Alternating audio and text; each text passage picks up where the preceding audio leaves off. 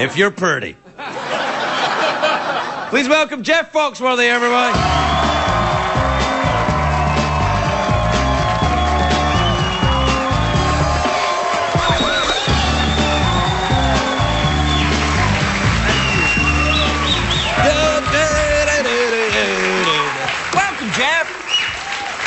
To see you. You, you need to come do the fifth grader show. You know, I, I don't know, I actually don't know if I know the ca- uh, country Budapest is the capital of. What was it? Uh, Yeah? Hungary. Hungary, yeah, that's right. Yeah, yeah. Yeah, but she didn't know Hungary was a country either, so. Uh, or she Turkey. was, she was pretty. Kellie Pickler, uh, you, you know, from American Idol. That's Yeah, who that was. And, uh, Was it? And, and that's like one of the most hit things on YouTube. It's the, her whole thing. It's beautiful. Really, I haven't, I haven't seen the whole thing. I'll need Yeah. to watch it. Hey, are you, uh, are you a good golfer? Terrible. Awful. Terrible. Hence the book. Hence I the guess. book, How to. Really. I would not write a book on how to be good at golf. I, I've been chairman of the, uh, uh, the Duke Children's Hospital does a golf tournament for like the last 12 years, and I've done that and played in all these charity things. I'm, I'm, I'm terrible, but do you play golf? No, not at all. I'm Scottish. Really? No, no, no. I, I we never were- play golf. I thought you were required Oh, to not that old thing again, Yeah. Scottish people. We don't all know each other, you know. No, that's in the South. We do that. But no, actually, I think I'm the only person in my family that doesn't play golf, including the pets. Well- yeah. Within golf, there's only two percent of the people that are any good, and the rest of us stink. And and and the ones that stink are always frustrated, and you always leave upset. And I'm like. We know the limits of being good from Tiger Woods. Why not explore the other end of the spectrum? so that's well, what that's about. And see, you, you need a you need a book to help Well- people well, be yeah, bad at it. It's like, well, you have to let it go and have fun. Like, I mean, right off the bat, don't warm up. Be- Because my theory is you're only going to hit four good shots all day. Don't waste one on the driving range. Go right to the That's first smart tee. thinking. That's smart thinking. All right. If you hit it in the woods, I always see the good golfers will chip it back out and play. I say if you can see a sliver of daylight, go for, Go for it. you Yeah, know? absolutely. Because more than a good score, 10 years down the road, you're, people want a good story to tell. And if it comes off a tree, hits you in the head, and you throw up all over yourself, you're going to be talking about that 10 years down the road. You know, you're right. I really, that's my whole life is based on that. Yeah, Because- you've got some good stories. Well, and you don't even remember half I of know, them. I know. That's the truth of it. I, my dad, when I was playing uh, pool with my dad, he would always hit the hit the, the ball really hard. And I would say, Dad, if you just tap it, it's going to go in the pocket. And he went, I don't care about putting the ball in the pocket. I like the noise that it makes when Yeah. it rattles off the side. he was playing his own game. Don't you think maybe you're playing your own game here? You I know- think I probably am, but it's it's much more fun this way. Yeah, do you wear those little outfits like the little pink uh, pants and all that kind of I, golf you- course? I'm uh, rednecks don't wear it. My, my my my country club has a sign out front that says "Truckers Welcome." You know, it's uh, no, I don't do all that. stuff. Now, what the, the, redneck thing? I, uh, you know, you might be a redneck if you you know my people are the original rednecks. I, do- I was Yeah, going to ask yeah, you. Yeah, you, yeah. you have rednecks, Yeah, right? well, of course, uh, the the Scots Irish going uh, going down to the south. That's what were the original red. We came over in trucks. That's what happened. we we down, that all that. Well, I've always defined it as a glorious absence of sophistication. That's yeah. my people. And when you think about who the first people to come to the United States, they weren't sending the top of the pecking order over, That's you know? right. It wasn't like I say, Lord Percy, let's No. go to America. Capital idea. No, it wasn't. No, it's somebody hanging off the front of the boat going, Woo! Yo, watch this! You know, it's. Yeah, that's it. It- the accent's uh, different, but the heart is the same Now, in these things. What do you call them in Scotland, though? Uh, well, we call them, uh, well, uh, I guess, uh, chancers is what we call them. Chancers. You call them a chancer. Yeah, you chance your, your life when you get involved in any kind of uh, discussion or anything with these people. Uh, a chancer, Oh. or, or, or they're willing to chance anything at all. You call them a chancer. Or, uh, or maybe just a redneck. You can Yeah. call them a redneck. Because we speak English over there, and we don't all know each other. It's a lot like the South. It's a Yeah, lot like the South. uh, Actually, I always, I always had a good time in the South. What part of the South are you from? I'm from Atlanta. Atlanta. All right. Well, that's a very sophisticated urban environment, Atlanta, isn't it? yeah, but you don't have to get too far out before you're looking for. UFOs, you know. That's true. Yeah. It's funny. You get there and it's all dana chicka hip hop a doo doo, and then you drive for 20 miles and it's ding ding ding ding. Yeah, yeah. Hey, I remember back when they they were going to bring the Olympics to Georgia, and this is no lie. Where they did the kayak races for the Olympics was the same river that they filmed Deliverance on. Ah, And I- get me moving. Yeah. Well, that's that was my thought. I thought, you know, if Ned Beatty can't make it down this thing in one piece, what chance does a Frenchman have in a pair of bicycle pants?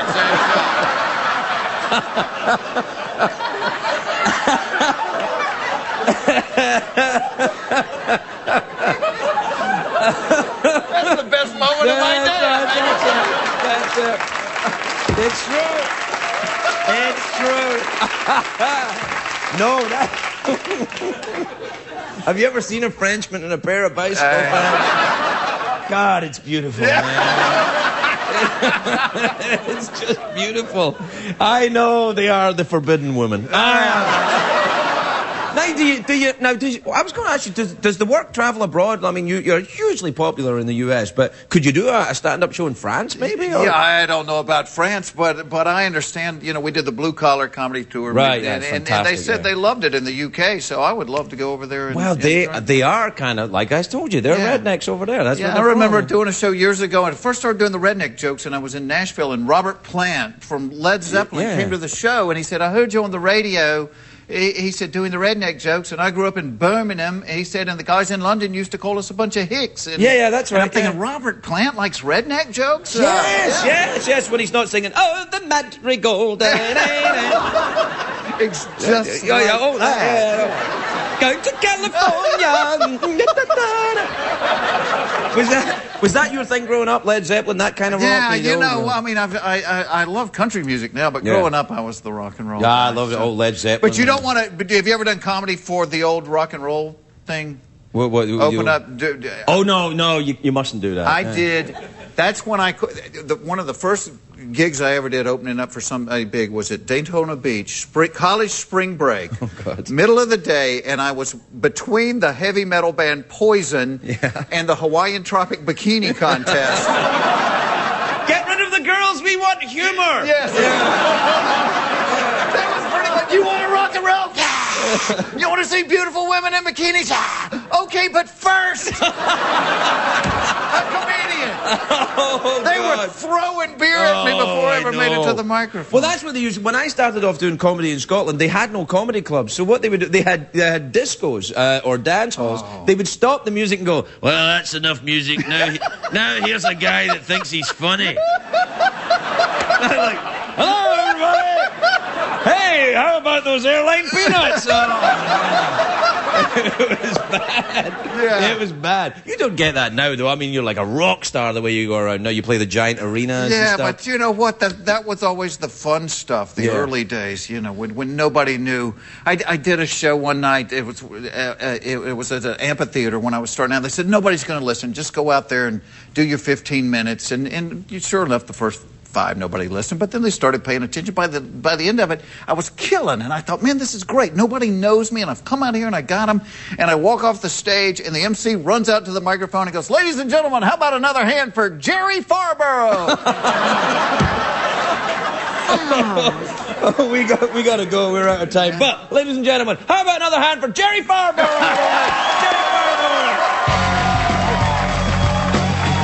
Welcome, Jeff Foxworthy, everybody. Jeff Foxworthy.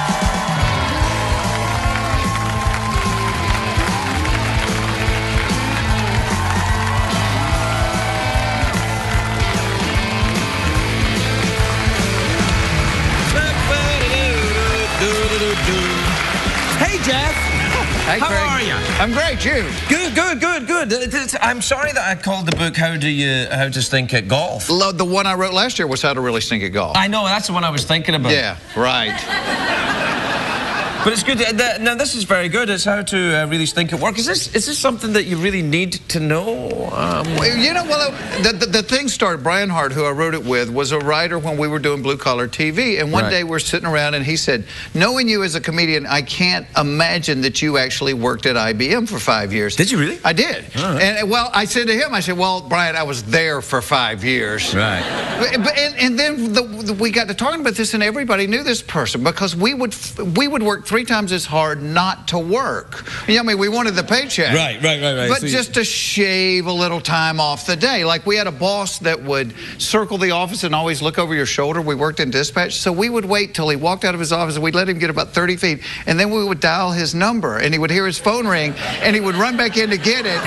And as soon as he got to the desk, we would hang up. And we would do this to the guy like 20 times a day. I'm going to do that to Letterman. Yeah. Start tomorrow. That's awesome. Well, became the challenge. Like the guy Dave that worked next to me would deliberately leave his car lights on every morning, and then somebody would come in and go, "Dave, you left your car lights on." And so the time it took to walk out and turn them off and come back was another 10 minutes off the workday. So. and, thi- and this is and this is a book. Yeah. Uh, is this legal? well, you know, when I started writing it and I would share it with friends, everybody would go, "I've worked with that person." Oh, yeah, yeah. But you, but you don't want to get fired because you need the paycheck. So Yeah, no, you don't. got to create the image that you may not be quite stable as well. You know, like. Oh yeah, no, like get have that. a big snake mug on Yeah, your nothing wrong with desk that. or wrong something. with that. Yeah, That's, yeah. Don't you like that? Yeah, I that's do. You, nice. you live in Georgia, don't you? You get Yeah. snakes there. Yeah, we do get snakes. Well, there you go. like that kind of snake. I don't like snakes. Oh, really? You don't like snakes? No, the last time I was at the, I have a farm just south of town, and I was, we were moving some snake concrete, farm? not not a snake farm, but I was moving a thing, and then there was like a, a one of those under it, and only my laundry man knows for sure how scared I really was. It was. Was it a rattlesnake? Yeah, it was a rattlesnake. Well, see. I came across a rattlesnake out in the Hollywood Hills once. I was walking around. I was, you know, going through dumpsters, and Yeah, I, right. Yeah. And I, get, and I, I, and I nearly stood on a rattlesnake and it rattled, and then I went, ah, and I walked away, you know, in much the same condition as you're describing for yourself. And then I thought, no, that actually, that's quite good that a rattlesnake does that. It's like, get out of here, I'm poisonous, and off you go. Right, yeah, I they- wish I'd met some people like that earlier in my Yeah, life. right. if they would only rattle when you said If hello. they Can, me just. Do you rattle? Yeah. Well, that's like one of the things in the book is is to get people to leave you alone, which is what you want. Uh, Right. Wear a neck brace. Do, have you ever walked in and started a conversation with someone wearing a neck brace? No, I no, never you're never No, going to no, start the conversation because you don't want to hear the story of how they got the neck brace. Yeah. Yeah.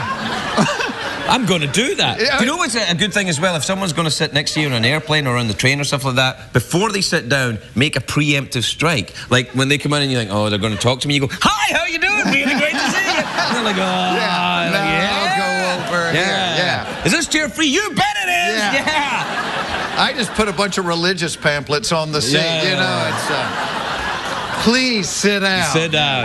I want to talk to you about something. Yeah. So listen, I I didn't know you had a, an actual farm. What do you do in your farm? Ah, do, do we, you know, we plan about 400 acres. It's it's a great little getaway.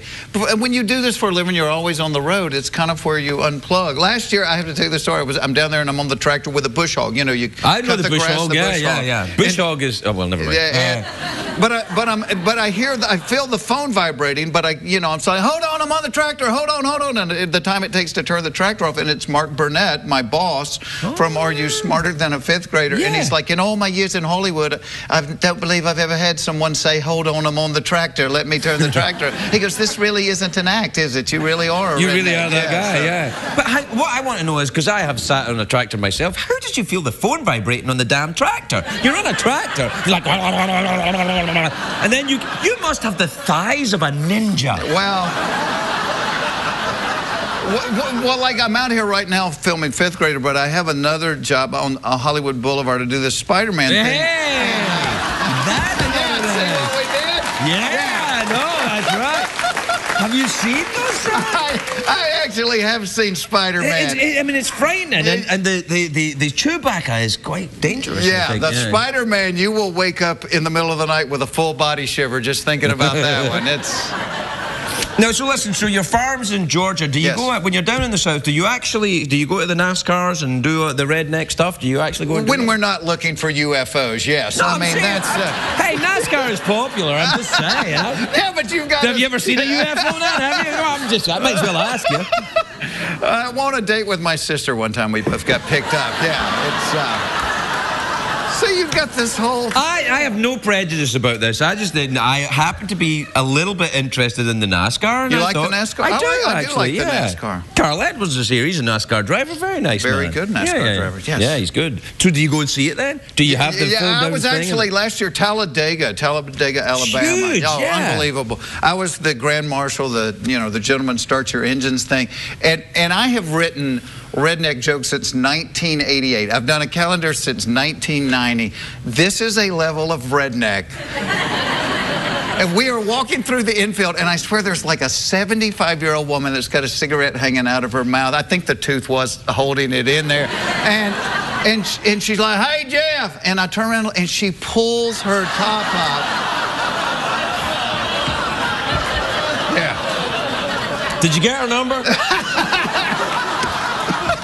75 years old? Yeah. they- Well, because yeah. after 54, I Yeah, stopped you looking. don't, you don't care anymore, right? Believe that stuff about the demographic? I well, mean, did you know I'm backstage watching, laughing, going, those are the people with the money, and yet they don't care about I it. know it's it's uh, I don't understand it. I don't am, I, am. I stupid? Is because it's like I was saying this on the show. Like you know, they say if you buy you know your brand loyalty, if you buy a product when you're 18, then you'll buy it when you're in your 50s. And I'm like, I was buying cocaine when I was 18. I don't know Right, that yeah. So I don't understand where that is. You know, I, and if I was still buying it, I'd be dead. So Yeah, that doesn't exactly. count. Um, I don't under. Do you still buy the same stuff you bought when you were 18 years old? I don't think so. No. I mean, even, you know, like shaving cream and things, you're like, I'm tired of it. You know, you just go That's find the new stuff. The new shaving for the sensitive Really? skin. What yeah. shaving cream do you use, Jack? Uh, do you use the stuff with the moisturizer? for the, yeah, with a sensitive skin. Well, like Des, you know. So, because I'm getting up there, I'm 50, I have to work on Four it. more years, that's it. You're Yeah, done. nobody You can't- cares. I won't be on the show anymore. I've No, no, make the no, most we can't. of. We can't have you on. We have to, and because when I started on the show, he said you got to appeal to the young demographic. You got to dye your hair. I'm like, if I dye my hair, I'll just look like a creepy old guy chasing young men around. and that's what I do when I'm not on TV. Yeah, exactly. Chasing young men around. Well, it's 18 to 34 year old men apparently. That's Those- big. that's what you're after. No, not me. Well, you know. All right, now I got to ask you because Yeah. when we were doing this thing, at the back part of it, it's Yeah. it's real jobs. We went through real. Real What's job. the worst job you ever had? I mean, because this is a good job. What's Uh, I think the worst job I ever had was loading mailbags at Glasgow Airport in the winter. Oh, Uh, that's a bad job because the planes are coming in. It's free. It's like Yeah. as cold as Siberia, and you're loading the mailbags with people who hate you because your dad got you the job in the first place. See what I'm saying? yeah. making how much? Ooh, I think it, the equivalent would be about five or six bucks a day. Yeah. Yeah. I had, when I was uh, in high school with Six Flags, you know, kind of like Six Flags over Georgia, and my best friend talked me into to going to work there because he said we were going to work at the log ride and that it was going to be like the perpetual wet T-shirt contest Oh, yeah, all summer yeah, long. absolutely. So we go down there and sign up. Needless to say, we didn't get the log ride. No. He he had to wear this horrible French beret and shovel M and M's into the little bags, and I sewed names on sailor hats. And we were doing the whole thing to meet girls. Girls will not talk to a guy No, sewing no, no. names on sailor hats. And then we would pass the guys from the log ride, and they were like, Pamela, Pamela Anderson was Yeah. here this morning in a linen shirt. It That 71 year old awesome. Yeah. woman from Talladega, Yeah, she's here yeah, every that's- Yeah, that's the guy I got. Ah, we, we, we gotta go. Jeff, it's always nice, uh, nice to see you. it's was nice to see you. I think my teeth are beginning to fall out Well, because I'm approaching 54. 54, and it doesn't matter. Who cares after Yeah, that? no, after 54. I still can't get round this.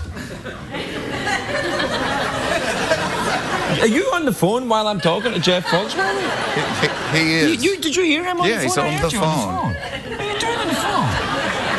It's Jeff Foxworthy. This is not the, this is not the usual crap we have here. I can't believe it. It hurts. It, it does. It does. I'm sorry. I, He wouldn't have done that if I was 18 to 34. Yeah, that's exactly right. That's true. Jeff Foxworthy, everybody. We'll be right back. Jeff Foxworthy, everybody. Jeff Foxworthy.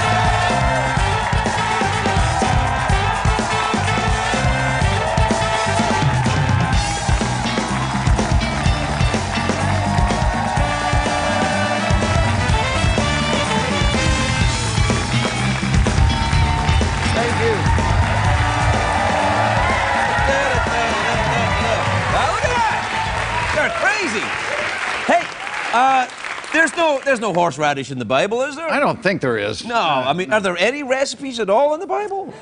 There's You- bound to there's like, there's like manna, you know. Yeah, ma- manna. Yeah. But manna uh, was from heaven. It wasn't like a, you know, here's how you make manna. I don't, th- I don't think God was giving out the recipe. No, I don't- making it every day. Yeah, I- it's. I don't think there's got. I bet you there's a re- there's everything in there. There's bound to be. Do A you know the? Bible? Do you know it well? Pretty good. Uh, You know, the, the, the thing on the show, though, I but because I've got this accent and my Southern education, so I butcher every name in the Old Testament. Uh, The cards that I hold, it's just phonetic pronunciations of the Old Testament names.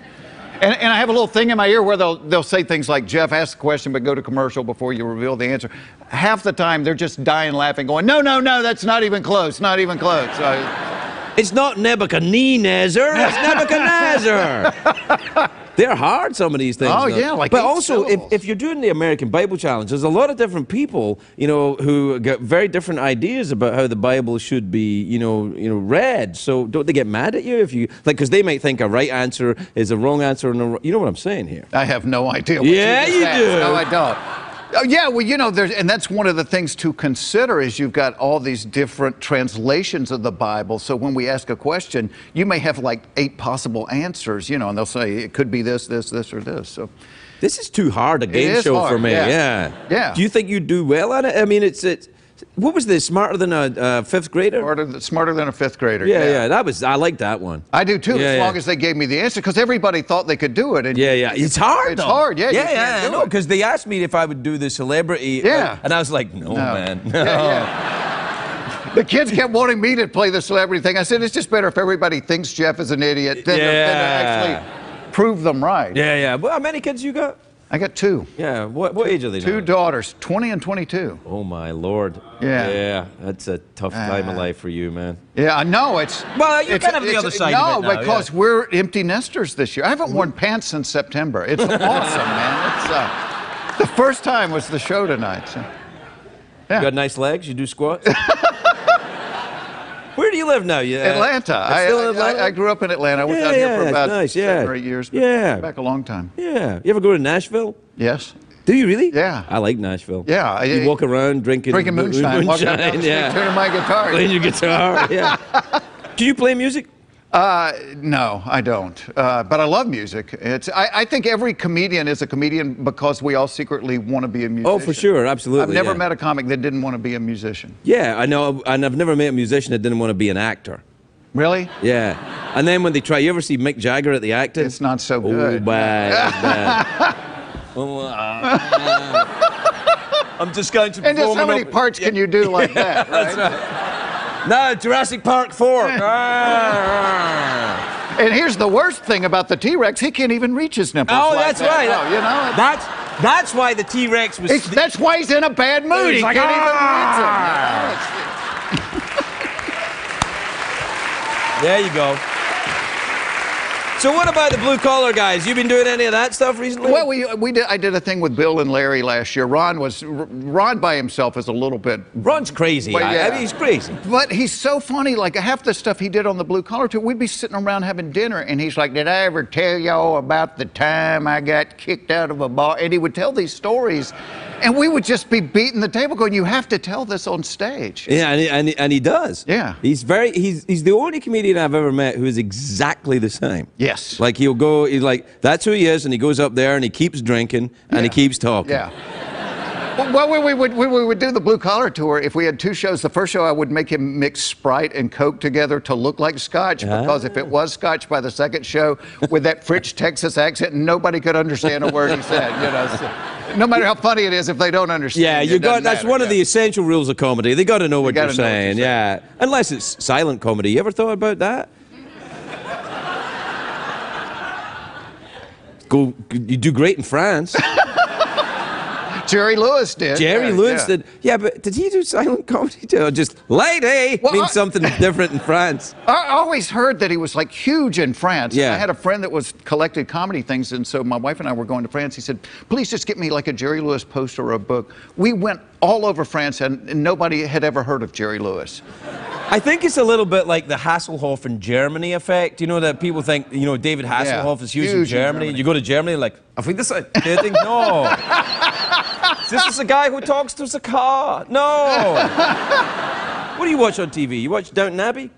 My wife watches down, so I'm kind of, you know, by proxy. Yeah, you have. Because I still want her to be my girlfriend sometimes, so Yeah, I I watch, hear you you. know, I watch it too. So. Otherwise, you Yeah. start learning Yeah, stuff. yeah. Yes, I know. Do you ever watch? You know what my wife makes me watch, and now I've become addicted to is the House Hunters International. You ever watch that? No. Oh man, you got to see that. No, what is that? Well, it's a show that if you watch it with your your wife, it gets you laid, and yeah, House Hunters International. Because we would do that. We would Yeah, watch of that. course, if, that yeah. if that's the end You ever result. watch House Hunters International? Yes, Yes, I, do. Yes, I do. no, it's great. It's about these people that look for houses, but it's always like Canadians looking for houses in inappropriate areas. So it's like, you know, Sam and Bill are really, uh, you know, tired of busy Toronto, so they want to go to war-torn Kosovo for a night. it's really fantastic. All right, I'm watching it. Yeah, yeah. What do you watch then? You watch the Duck Dynasty? And now, you know, you know what? I, I get like uh, we just finished watching like uh, True Detective. Oh, right, Uh, yeah, I- I- that- oh, you know, we're, I- we're in the age now, and the, and the killing and stuff like Yeah, that. no, that's Yeah. good stuff. You know, family-friendly entertainment. When, Yeah. when you're not watching the Bible challenge, let's watch somebody get killed. So. Uh, Well, it takes it the other way. Yeah. You know, you got your wholesome, and then you got your yeah. True Detective's pretty yeah, rough. though. it, it was, but it, uh, it was, Matthew McConaughey was amazing. Yeah, no, he's good. He's a very. You can do his voice, can't you, Jeff? All right, all right. There you are. very good. Now, can he do me? Yeah, I think you can actually. Can you do? Can you do Jeff? Uh, sure, sure. Uh, let's see. If you're plugged into a wall and work for a late night douche, you might be a robot skeleton. Be right back with Jeff Foxworthy, everyone.